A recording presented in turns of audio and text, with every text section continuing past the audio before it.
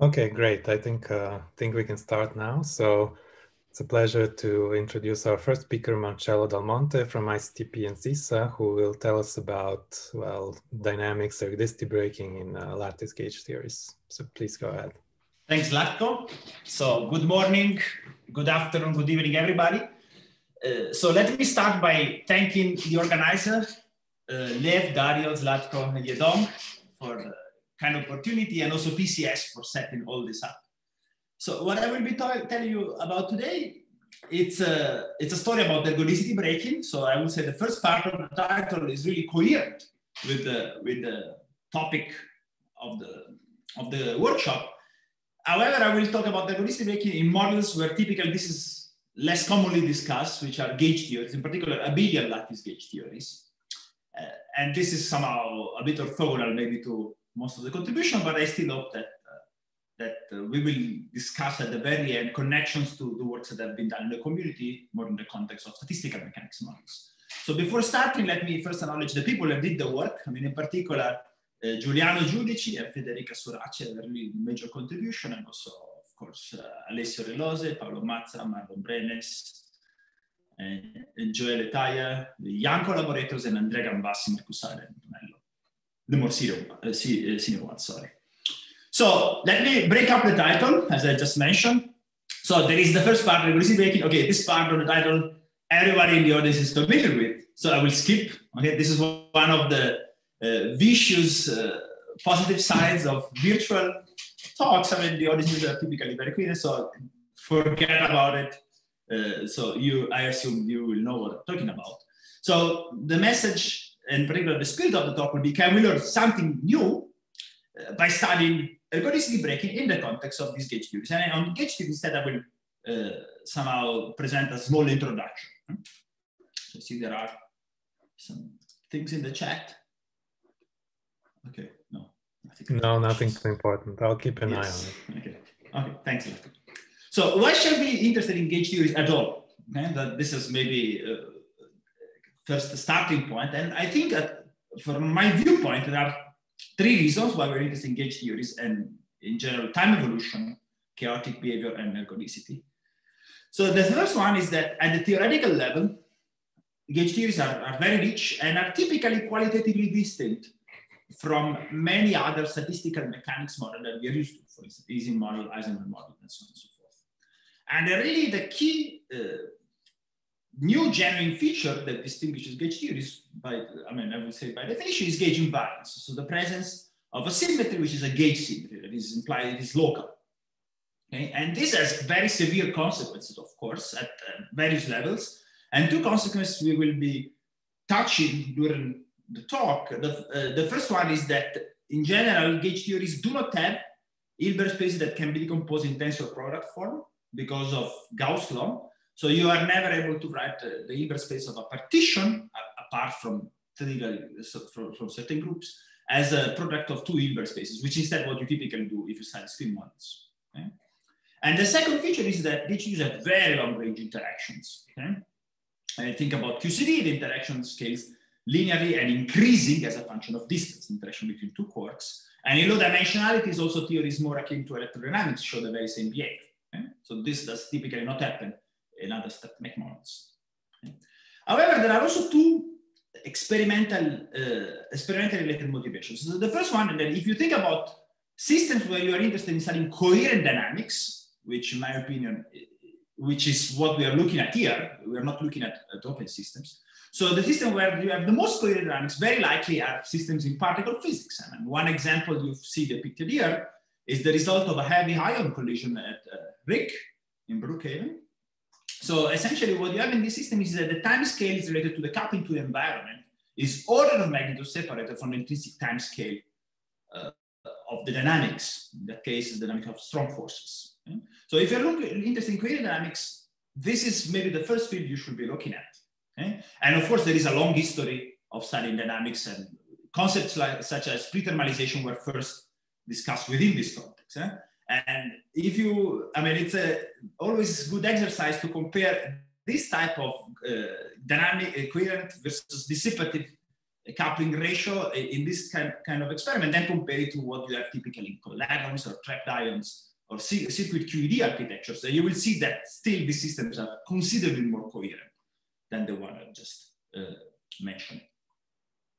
And then there is a, a, third motivation, which is also experimental, but maybe this is more from the quantum information viewpoint, is that nowadays uh, gauge theories are not only available in terms of fundamental theories of nature, but they are also available uh, in part, okay, as um, as effective models describing the dynamics of quantum simulator. This has spurred a lot of interest at the, at the interface between high energy and quantum information.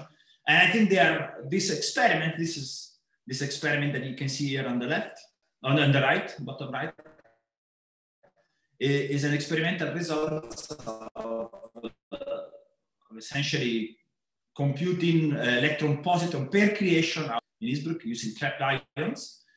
And I think these experiments are uh, enabling us to, to tackle gauge theories in a very different manner from what, we, what has been done in the past. And I think this is also an additional motivation to study algorithms in this context. Now, the moral of the story, the take-home message is that I would like to tell you two things, even though very likely we will only be able to make it to one. okay, the first one is uh, uh, how to interpret the phenomenon of slow dynamics that has been linked to the presence of quantum scars by Workman Zlatko and several other people in the audience. And the, what I would like to show you is that by utilizing concepts and language from gauge theories, one has a field theoretical interpretation of what, what's going on in these systems, and one also has a direct connection to a phenomenon that is relatively known in energy, which is called string breaking. Okay? So that will be the first part of the talk. The second two aspects are instead more related to uh, so this is somehow in the, the first part is in the framework of weak ergodicity breaking. The second two parts are in the framework instead of strong ergodicity breaking, in particular many body localization and, and dynamics in gauge theories. And the first part of, of, this second shot is uh, related to disorder-free ambient dynamics. And I will, if I have time, I would like to convince you that this is ex actually extremely common in gauge theories due to something which is called superselection sectors. And this also leads to a rather exotic phenomenology. I mean, here you see a plot of an entanglement of the entanglement entropy after a quench in these kind of models. Uh, and this is a double log scale you see on the right. So the entanglement grows even slower than um, what is predicted in conventional NPM models. And then if I have time, this I, I very likely will not have time, uh, it's, uh, I would like to present a discussion of uh, level statistics and uh, structure factors in gauge theories and how they change when you include disorder with respect to statistical mechanics models. Um, so that's, that's the plan. Let's see how far we can get in 30 minutes.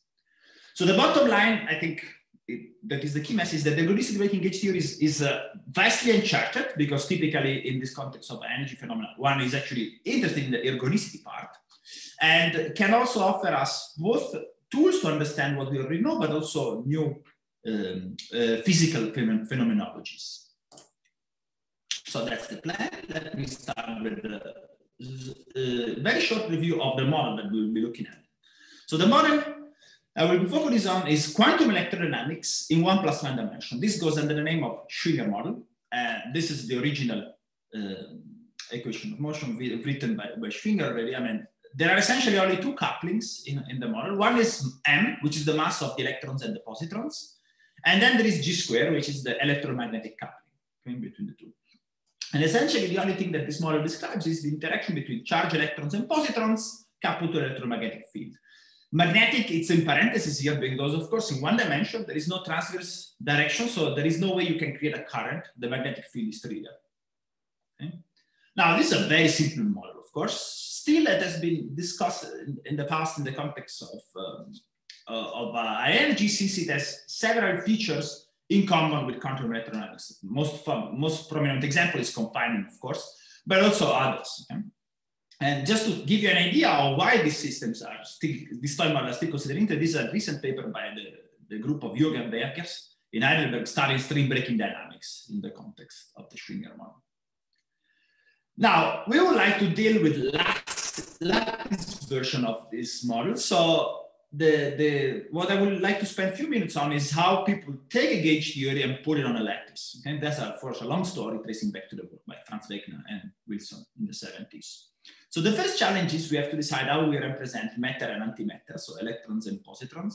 There are many ways we can one can do that. I mean, the simpler ways is to use what are so-called staggered or, or Kogut-Susskind fermions. Okay, and idea is very simple from the condensed matter viewpoint. So let, let me illustrate it with a four-site lattice. Here, and you can see we have we can imagine here that we have spinless fermions, and if it's uh, if the circle is red, there is a fermion. If it's gray, it's empty. And now we utilize the following table. On the odd sides, whenever I have a fermion, I interpret it as an electron. And whenever I have nothing, it's the vacuum. And on the even side, I do the opposite. So whenever I have a fermion on an even side, I interpret it as a vacuum. Uh, if instead I have nothing, so it's gray, I interpret it as a presence of a positron. And you can immediately read off the simple state here. I mean, the first site as an electron, the second as a positron, because it's even and there is nothing. And then the third side, electron, uh, nothing. And the fourth side, there is a particle, but the, on the even side is interpreted as a vacuum. So this is a typical picture of an electron-positron pair. And you can also go ahead and write down the other states. The typical other example is the bare vacuum that you can recognize here is just a charge density wave in this context. And if you want to assign a mass term in this kind of theory associated to the presence of, a, of an electron or a positron, the only thing you have to do, you have to put a staggering in the, in the, uh, in the prefactor of the mass. Now, that's the way you do fermions. The, you put gauge fields is slightly different. And the idea is that uh, for the context of U that we will be looking at, we are utilizing what are so-called parallel transporters. The parallel transporter, you can imagine the stack McLange, they are huge clock variables, essentially. And the diagonal part is typically denoted by L, and instead, the matrix element that changes the eigenvalue of this huge clock variable is called e to the, it's typically denoted as e to the i uh, theta n. Okay, so you can imagine that this element counts where this clock variable is, and e to the i theta n moves that. The full Hamiltonian is written as follows. I mean, there is a first term here on the left that you can recognize as the minimal coupling. Okay.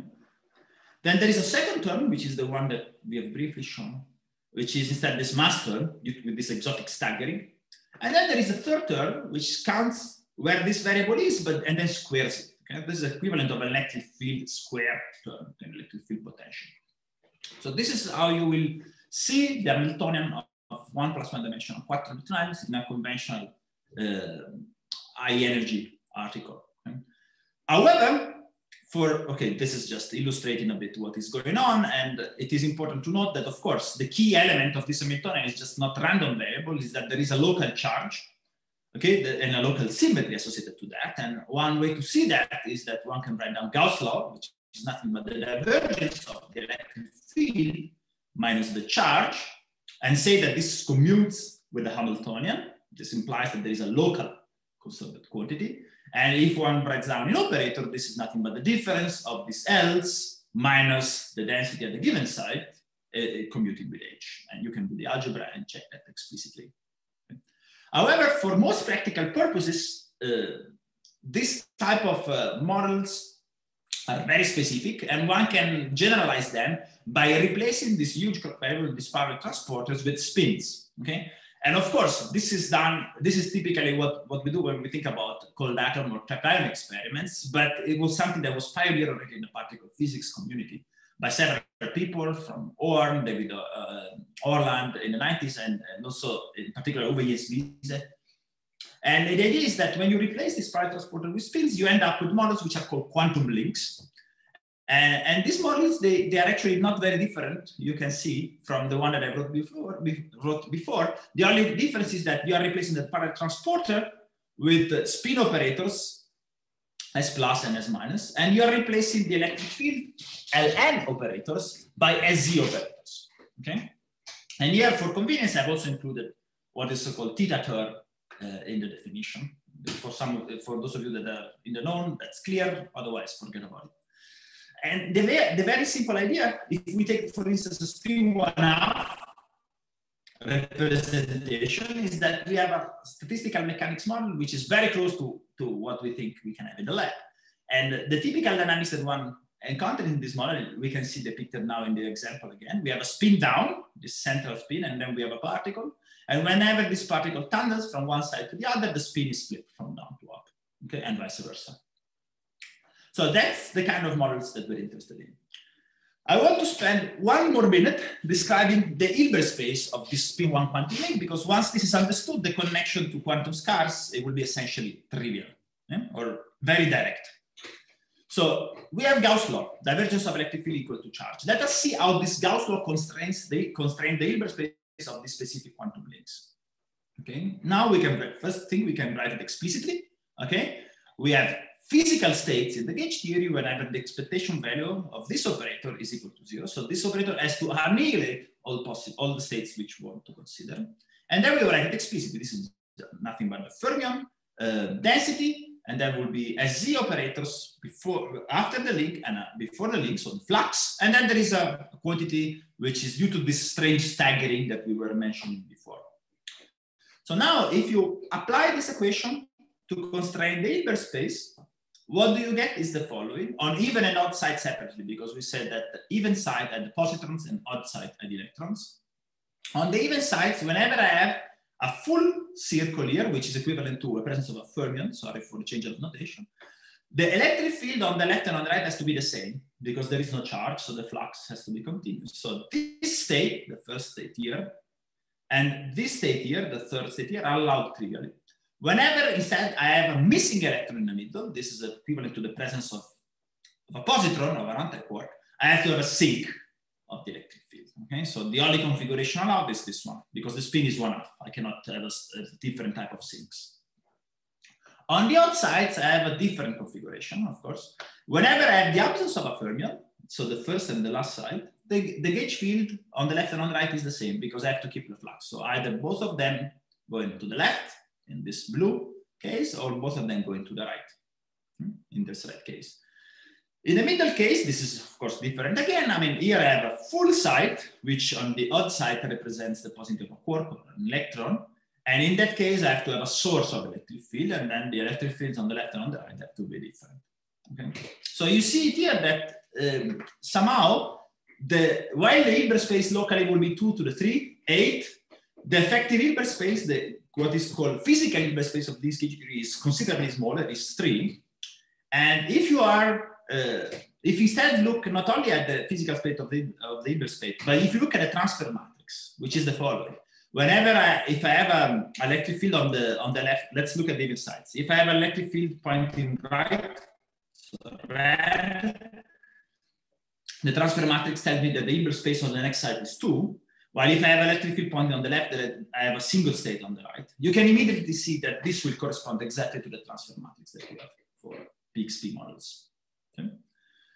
I, I, will stop now. This was introduction, but I'm happy to take questions eh, if there are. Yeah, there was one quick question in the chat about the topological angle. Um, I think it was the one slide before. Okay, what does the topological angle in the last term do? What does it do? Okay, uh, it's actually as a very important uh, has a very important role. Is the only term in, in, the, in the Schwinger model that is able to drive the system critical. And this is a discovery of Sidney Coleman in the 90s. If you have theta equal to pi, you, you get critical. In our context, will be a handle to tune confinement, and we will see that will be also a handle to, to, to tune integrability in the continuum. So I will discuss it later. Any more uh, questions? Maybe I, I can ask a simple question. Uh, I mean, so if I understand correctly, I mean, essentially the presence of the gauge um, of the gauge field introduce some constraint over the Hilbert space. And so you have, let's say, the, the fragmentation of the Hilbert space, like you have in standard quantum scars models and so on. Do you think, I mean, it's true also the opposite, that the models with quantum scars that we are used to can be seen as gauge gauge theories where you have, let's say, integrated out the gauge field and you have an effective theory for what remains? I think it's not so trivial, the opposite. I can give you one example. Uh, like there have been several papers by Regnault and collaborators on scars in the context of Hubbard models. Mm-hmm.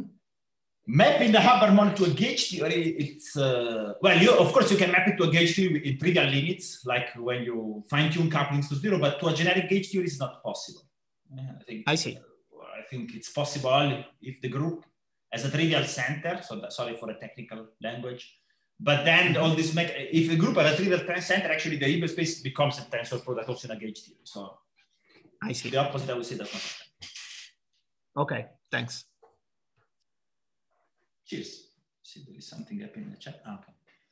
So very good. So let me go now to the, to the next part, which is uh, uh, about the relation between these gauge theories and this dynamics in Hilbert atoms arrays.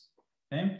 So I would like to, so since it's the first talk uh, uh about scars, I think it's good if I present uh, the, a bit the experiments that was performed in the group of Misha Lukin 2017. And the idea of these experiments that, that the atoms, a chain of atoms that here are denoted by these uh, green dots, arranged in a one-dimensional lattice. And this one-dimensional lattice is created by optical tweezers. So people can move them and change the distance at we almost at will.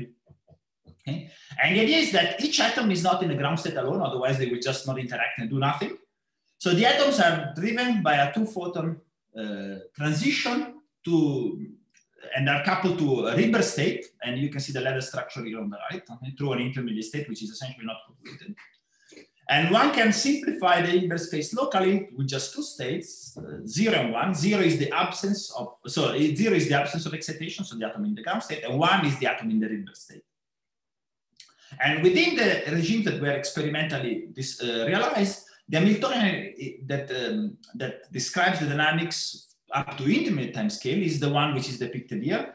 So it contains several terms. The first part is the single atom Hamiltonian, which contains a Rabi frequency omega and a term sigma x. This omega is the two photon frequency. And then an effective detuning small delta. Sorry for the type. Actually, this should be capital delta and j.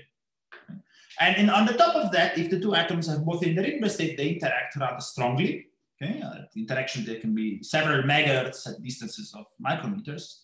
And this interaction is typically depicted with just a potential, which most in most cases decays, like uh, at uh, long distances with a van der Waals profile, one over to the six.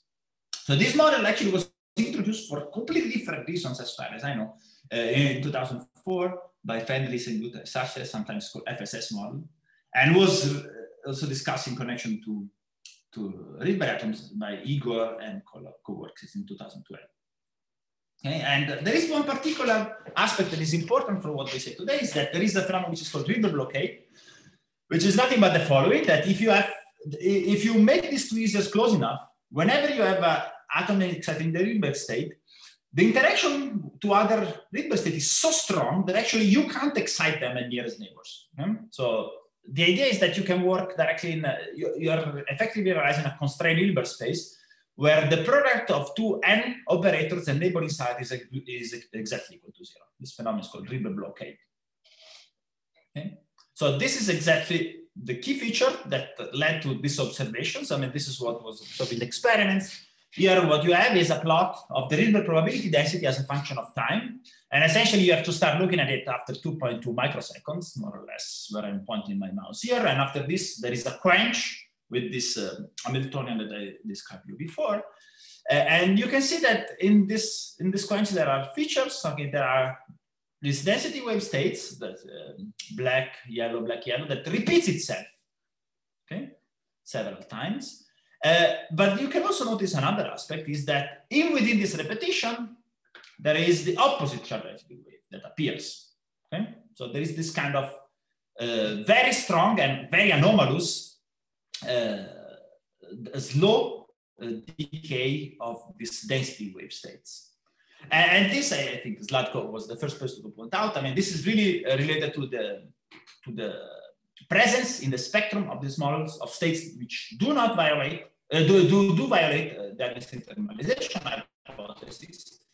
And there has been a flurry of activity uh, discussing this in the context of StatMech models. I will not be able to review that. Yeah, I think there are many people in the audience that are expert and have contributed to this uh, rich field. So now the question is, how is this related to gauge theories at all? Well, the first thing when you see this plot, even th without thinking about gauge theories, you think about plasma oscillations. Okay, so what are plasma oscillations? They're just anomalous slow oscillations of a system, which is many body, because QED is many body, and where the decay of this oscillation does not happen over time scale which are corresponding to the microscopic couplings. Now, we know this from semi-classics, but this can also be established more quantum mechanically. And this is just a picture taken from a paper by, again, by Jürgen and co-worker, Valentin Kasper. Uh, and here you find the evolution of QED in one plus one dimension, the evolution of the electric field as a function of time. You see this oscillation. And this, what this oscillation mean in plasma, I'm thinking about what plasma oscillation is, displacement of a charge. Okay, essentially what happens is that you have huge many body oscillation between states which have charges at different positions in space. Okay? So the idea is that already without having to, to look at all the models, there is a very simple physical insight on why this slow dynamics could have a relation to, to particle physics. Okay. Of course, this can be done exactly, and I will not bore you with the with details also because we're running out of time. So the idea is that from the quantum link model Hilbert space that I showed before, it is possible to map it one-to-one to this Rydberg chain. And the idea is, by, as depicted in this simple figure, if you look at the Hilbert space of the Rydberg, essentially let us look at the odd even bonds, which are probably simpler. Whenever you have a Rydberg atom on the left, it's a blue uh, link on the right, and then whenever you have a, a Rydberg atom on the, on the right. I put it as a red site here, and you can see that the transfer matrix is exactly the one of the quantum link. So if I have a Rydberg, I have blue here and blue here, because blue on the next side is the absence of, of an excitation. If I have instead no excitation, so red, I can have either an excitation or nothing afterwards. And you can reverse that and get the same on the, and get the opposite on the even odd bond. So the mapping is, is very simple. And then mapping also translates at the many body level. You can take these cartoon states, which are the density waves that, that we know from the experiment, also the state with no excitation, and you can map it to the gauge theory. And it turns out that the two density, density waves are nothing but string states. What does a string state mean? It means that the value of the electric field is constant, is perfectly flat. Okay? And there is no particle content either on the left or on the right. While instead the state in the middle is nothing but the proliferation of charges and uh, anti-charges everywhere okay, where the gauge fields instead fluctuates like crazy. So we have now the simple interpretation of this null states and of the vacuum. Now, next step, you can do the mapping at the level of Hamiltonian. You can take the Schwinger model that I showed you before, and then to map it, map it to the PXP, and you, you realize that the, the model that you get out is not exactly the PXP, the PXP is the first two terms, which are the kinetic energy, minimal coupling, and the mass term of the fermions. There is an additional term here, which is a delta minus one to the J sigma Z. This is not, was not there in the first experiments, and you can interpret this term as the, as the one that comes out of this strange electric field square in the quantum link. And notice that the coefficient delta is theta minus pi, theta was this topological angle. So this implies that when this theta, this capital delta is equal to zero, uh, the, the, topological angle of the Schwinger model that is realized in the lab is exactly equal to pi. Okay? Uh, so this was for us uh, relatively exciting because it implies that gauge theories, which are typically very hard to realize in experiments, instead in this fixed model, they are realized at very large scales. Uh, now, can we learn something about this slow dynamics with this gauge theory now? Well, I mean, the idea is that we can, since we have a gauge theory, we can easily do quantum field theory on top of that. And the Schwinger model, the quantum field theory related to the Schwinger model is very well known. This was due to Sidney Coleman. And you can see depicted here, phi and pi, they are two conjugate bosonic fields in the continuum. So this is something which is not very dissimilar from a Luttinger liquid. Plus you have term, you have a term which is uh, which is a first term, well, a mass, and also a cosine term, which is similar to a sine Gordon. Now this theory, exactly for t equal to pi, the value realized in the experiment is integrable in the vanishing mass limit. Okay? And the continuum, we're talking about continuum. And we can already think about what happens in a material like that. If you, if you engineer a mass, uh, uh, this is the uh, V of phi is the effective potential. I mean, if you engineer a state in, the, in, a in one of the minima of this potential, you let it evolve with a mass equal to zero, this will oscillate forever okay? and a continuum. Now we can try to take this picture and apply to the lattice model. Okay, one of these two minima, what is that? Is the string state, okay, because it's the mass, is the is one of the minima when you have infinite mass or very large mass, so you, you don't want any fermion or uh, any uh, positron or electron, so the only state possible is the string states. You quench it and you have oscillation between the string states. And that's exactly what is seen in the experiment. Okay, you have this continuous oscillation of string and anti-string states. Uh, and this corresponds to, to, to the dynamics that was seen. And let me also mention, this is not a feature of, uh, of the U quantum link. Mean, this can also be observed in multigs, abelian gauge theories, and Kuba generic features of, gauge theories. Okay? So this low dynamics in our language correspond to something which is called string inversion. Okay? So slightly uh, cooked up version of string breaking. Now, what are the ingredients, the key ingredients to see that? I mean, the underlying field theory has to be integrable, but this has to be a low energy. Notice that whenever you tell low energy, you think about, okay, how can a low energy behavior influence what is going on here, which is clearly high energy? Well, the reality is that when you talk about quantum field theory, what is most, important? I mean, low energy is only the RG way we intend that. But if you have states which have smooth description, so where the, the, the field configuration is almost continuous, quantum field theory can also apply even if you are not in the low energy part of the spectrum. So this is a, another requirement, this smooth the description. And you tell me again, I mean, this is a charge density wave. The field configuration is changing at the lattice spacing level. How can this state be well described by quantum field theory? Well, the reality is that when you when you reformulate it in terms of this uh, simple quantum field theory, this is a perfect state for the quantum field theory because the electric field value is constant. So you cannot imagine a better state to be described by, by field theory description. Okay? And uh, out of this lecture, can we learn something more, like how to tune the strong oscillation, or can we find slow dynamics in other models? Well, the idea is that one can do that. For instance, one can play a bit with this mass term, and we know that the mass term breaks integrability in the continuum, and the mass term, of course, makes the um, oscillation uh, damp down because it's breaking this effective uh, continuum integrability. So the picture that I drew you before does not apply anymore. And one can also see that in relation to critical points that were that were calculated that we calculated in the past without knowing at all that this was related to PXP models. Uh, it was just calculation uh, on, on the on quantum electrodynamics. Okay? And the other thing that I think is interesting is that you can immediately generalize this mechanism. Okay, uh, you, for instance, you can take the, the Wilsonian version of the Schwinger model without any constraint on the spin. This is an infinite dimensional field here. Okay? You can do that, do the numerics, and you will see this very slow decay in oscillations. In, in the actually in very similar parameters even with respect to the one that you have in the PXP. But you can also take different theories. For instance, you can take Yang-Mills. Okay, Yang-Mills can also have an integrable effective field theory, can also have states with uh, smooth descriptions. You go and do the same type of plot that Zlatko introduced, like plotting the entropy as a function of energy. And you see bands of states which do not belong to the ETH band. Okay? Now, Yang-Mills is not as easy as U1. Of course, we cannot do large system sizes, so the physical interpretation is more complicated, but it's all fitting within the same kind of field theoretical toolbox. And then you can also think about how to extend this type of, of, uh, of behavior to more than two dimensions. The problem is that if you go to more than one dimension, um, the concept of integrability in the continuum is kind of lost because there is a theory which is called Coleman-Mandula that tells you that you don't have integrable non-trivial field theory uh, in, in, more than one dimension. The way to fight this is to introduce supersymmetry because supersymmetry evades the Coleman-Mandula. And in, indeed, if you there are supersymmetric lattice models that we have shown have uh, quantum scars, even though they don't have really bands, they're more isolated states. Okay, I think I'm, I'm essentially very much over time. So this was a quick discussion on, on, how we do that. In the Schwinger model is unconstrained. This is type of oscillation. We can do also a bit of analytics here, but let me skip that.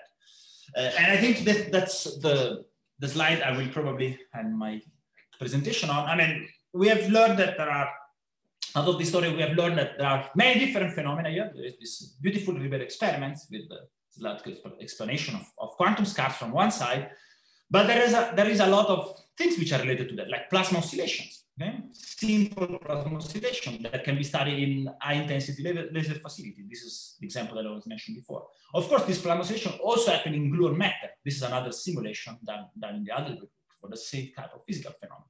And there are quantum links. So I think the most main message of the talk is that all of these apparently unrelated phenomena related to different models, different physical settings, and so on and so forth, live under the same umbrella.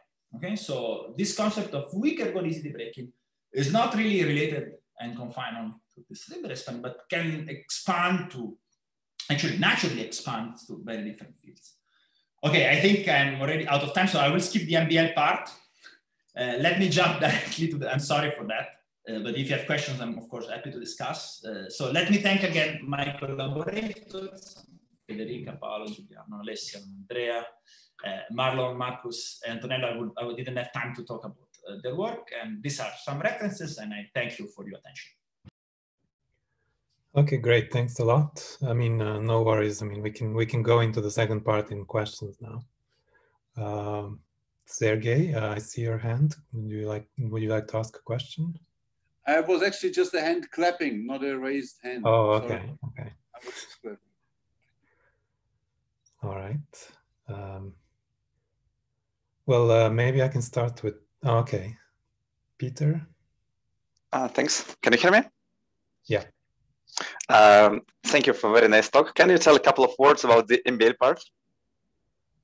Uh, yes, of course. Huh? Let's, say I will do that. A couple of words is a bit challenging, but I can try to, to give an idea of, of what it is.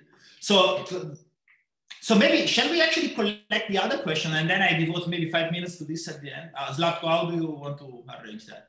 Yeah, maybe maybe if there are some questions about the first part, we go through that. Can I ask a question? Unfortunately, since I'm a co-host, I cannot raise my hand, but so uh, if I can ask, I mean, I remember that um, after the PXP paper uh, came out, uh, essentially uh, Zlatko group realized that this, let's say, these oscillations in the PXP are not, uh, let's say, perfect, and they can be improved by adding additional terms in the Hamiltonian such that the oscillations become more, let's say, I mean, endure more in time. Do you understand that terms from the gauge theory viewpoint? The first term, yes. The, the second, no. I can tell you why.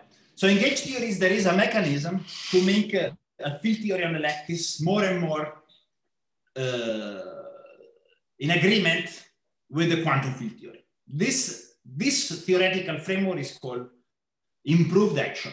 Okay, maybe some of you know it. In the, it's also used in the context of Ising models, actually. So it's not something that is only for for quantum field theory, but that's very well known. Essentially, what you do, you add counter terms to your Hamiltonian, and this counter terms makes this quantum field theory better. Better, so Giuliano, better uh, in the sense that it better best describes the quantum field theory limit, five being as finite lattice spacing. Okay, okay, got it. Giuliano did the first calculation. I mean, this is very challenging. Okay, it's not cheap things. Giuliano did the first calculation of this uh, improved action. It's called improved action, and he matched exactly the paper by Zlatko Dima uh, in 2019. The first correction is exactly the same. However, the second calculating the second correction, uh, since it's a, it's a perfect action conformal field theory, the type of operator that appear in next leading order are less, much less trivial. And uh, we were, I, honestly, I don't know enough to comment on the difficulty. Giuliano told me that it was very hard. So, so we might say that, that the perfect revivals arise when yeah, if you have a perfect action, if you have a perfect theory, yeah, when if you go to the quantum field theory, there's the plasma oscillation in the integral they are not that. Right? Okay, got it. Got so, it. I also, if I remember correctly, is like to I mean, the profile of the of the uh, term that you were adding was exponentially decaying as a function of distance and operator content, which very much suggests like a, an operator of OPE expansion.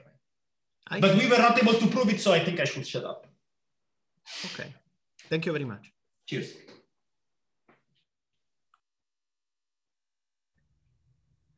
Uh, yeah, Zala, please go ahead. Hi, Marcello. So I'd like to understand, so you're saying the, that the underlying integrable field theory is crucial, right, for your non-thermalizing behavior, while in the scars models, it's more about this emergent kind of spectrum generating algebra. So how do I bring those two now together? Is it this kind of spectrum generating algebra is also in your theories, but it has additional structure as well, which makes it also integrable? That's an excellent question. I don't have an answer. Uh, this was actually one of the things I wanted to discuss in the outlook. Relation to, uh, to the field theory interpretation with the, this, this is a, a, spectral symmetries, and I don't have a clear way on to connect them. I'm sorry. As of course, an excellent uh, point. Yeah. Mm -hmm. Okay. Sergey? Hi. So, uh, Hi. Marcello, can you can you hear me? Yes. Uh-huh. Uh, yeah, I wanted to ask the question a question about the the mapping. So you're saying that this gauge the theory, the Schwinger model at the angle theta equal to pi is the same as this PXP model, right? So this Yes. is uh, the statement. Yes. Uh, yeah, my question is about so so this makes sense to me if if you know if the chain is closed and you know you have uh, zero charge by the Gauss law and so it's a purely bosonic model. So my question is like if you have boundaries, so like it seems to me that you can have some fermions attached to this boundary. So so could you did you did you look into like the mapping in in presence of boundaries? So uh, like if, yes. I mean, if the, if you have boundaries, you can, there can be additional effects. However, even with boundaries, if you work in the vacuum, so a charge neutrality, there are no boundary effects. So if you move outside of the vacuum sector, what you said can happen. But this was not something we investigated in detail. mm -hmm. okay. In that sector, let me mention, this scarring is likely not to occur because there, in the when you do the quantum field theory mapping, you have an additional chemical potential that also break integrability in the continuum very strongly. It is known, this fact is known, mean, for not, not by us, somebody else shown that. So, but of course, one can try to do this mapping there. Mhm. So, but from from that perspective, uh, uh, how to say so? On a finite chain, these two systems are not completely equivalent, right? Somehow, one would say that PX. No, no, they are equivalent in the vacuum sector. No, no, in the vacuum sector, they, they will have the same spectrum. hmm hmm But if you move away from the vacuum sector, they are not exactly equivalent. The two spectra have a difference. Right, right. Understood. Okay, thanks. Cheers. Would you like to comment on the mapping in uh, higher dimensions? Okay, so the mapping in higher, so, uh, the mapping in higher dimension, it's very different, of course. Actually, okay, let me say like this.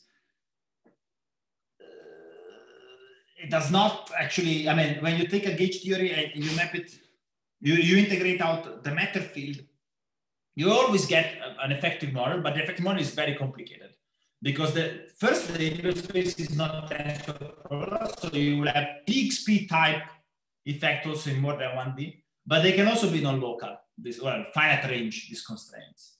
And um, we had a look at, uh, at the mapping, not of the, not of quantum electromagnetic, so another model in 2D. And, uh, but uh, the point is there and this mapping, they lead to, to very complicated interactions. So I'm not so sure one can learn a lot. I mean, the reason why we look at these mappings in 2D was mostly from the quantum simulation viewpoint, not from the quantum scarring. I mean, as I, as I was mentioning, I think the only thing that we can learn in moving more than 1D from what we said is that if you use supersymmetry, it's much easier to get scarring. Okay, but uh, I don't think we can learn more than this statement because of Coleman Mandula that blocks all the other conclusions in more than 1D.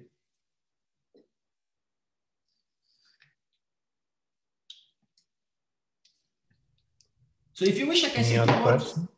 Oh, ah, okay. I can say two words about this MBL. Yeah, yeah, we'll, Ah, we'll come to that if there are no other questions about scars. Uh, Jedong, you have a question about scars? Yes, uh, yeah, in this uh, Pauli spin Hamiltonian, you have the staggered magnetic field with the amplitude denoted by this delta. Okay, Uh, this staggered field is essential for this scar. No, no, this, uh, this delta is actually something that will kill the scar. Okay? So, and it is nice to understand because if we, if we write down the field theory for this capital delta, uh, so uh, including this capital delta, sorry for that. This capital delta, what it does, it, it introduces additional contributions to this second gentleman here. Okay? So it makes the theory immediately not integrable in the continuum. And actually, we did numerical experiments to show this. I mean, it's a bit uh, when, you, when you want the lattice large delta that it breaks the scar is kind of trivial. But that is small and it breaks the scar is a bit less trivial. And we did numerics and we saw that this small, this, uh, this capital delta indeed, I mean, uh, decreases the amplitude of the oscillations very rapidly. Okay, thank you. Cheers. Cheers. Okay, I don't see any other questions about this, so maybe we can go to the really slow dynamics now. Okay, so the the really the really slow one. I mean, I, I was. Uh, let me see. Okay, uh, so the reason why we look at this MBL with disorder, or, actually the absolute disorder, but with fake disorder, is because it is known that if you look at the effect of Coulomb law, so which in one dimension is an interaction which increases the function of distance. This is already known to to lead to very slow dynamics. It's not leading to any ergodicity breaking, but it's very is already an interesting ingredient. And we just asked the question whether this alone um, can can be enough to lead some kind of ergodicity breaking in some extreme cases, not like just a trivial parametric slowdown of, thermodynamics, of, of dynamics. Uh, and the idea is that we did the quenches with the Schwinger model, not in this quantum link, but in the Wilson formulation. And we did something very trivial. Instead of, we put the fermionic field in a null state. This, uh, you can see it in this gray, red, gray, red. And then we put the gauge field just in an arbitrary superposition of three states, plus, minus one, and zero. Okay? And if you let this state evolve, both Hamiltonian uh, and state, are absolutely translation invariant. Yeah? So here there is no disorder in anything. But if you do quantum quenches and then, for instance, measure something which is called chiral condensate fraction, you can understand this as just a staggered magnetization. This is this chiral condensate fraction as a function of time for different for 26 spin, 26 sites, and for different values of the uh, electromagnetic coupling, J is equal to J squared divided by 2.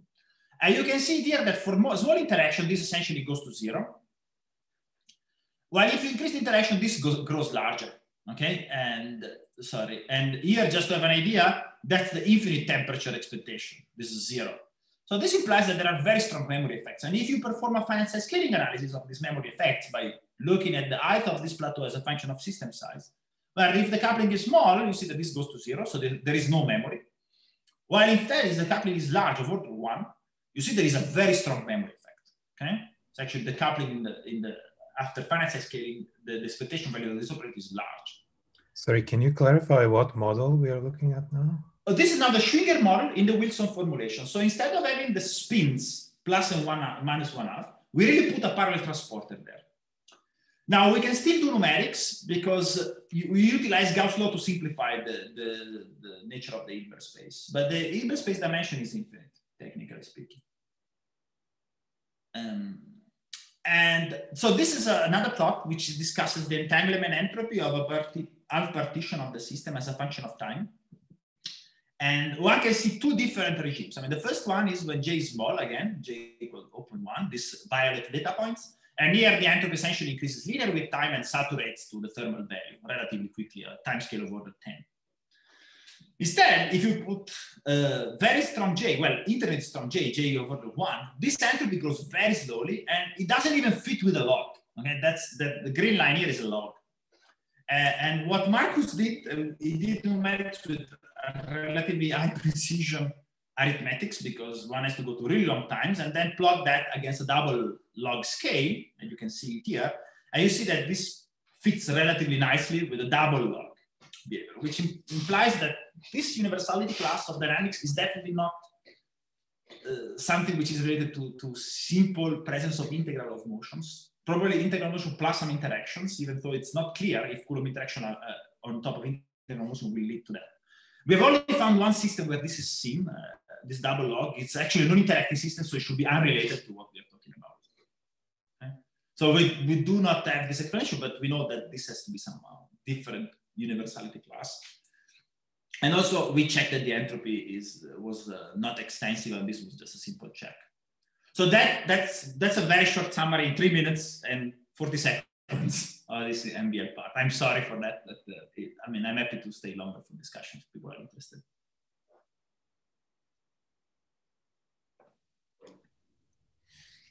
Okay, do we have any questions about this? So this uh, this model has a fragmented Hilbert space, right? Are you looking at the uh, large fragment or everything, or? Uh, yeah. Okay. Let me say that I think fragmented and gauge it's a bit different thing. I mean, this model has super selection sector, like every gauge, every gauge theory. Okay. So what we're looking at are the dynamics of states which have components in the different super selection sectors. Okay. So in this language of fragmentation, we were looking at states which have components everywhere. Of course, the different components evolve independently. They cannot touch each other because they are uh, they're, they are separated by symmetry arguments. But if you will do an experiment, you will just observe the collective effect.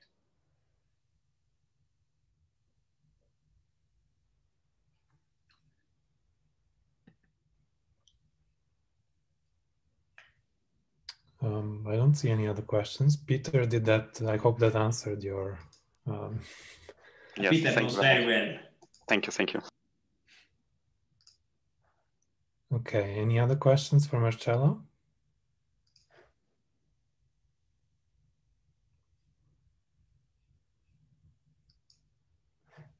Okay, well, we are more or less on time, so I suggest that we stop the recording now and take a 10 minute break, but uh, if anybody would like to continue talking informally with Marcello, they can still do that in the channel. Um, and we'll start the next talk in about 10 minutes. Thank you. Thanks again.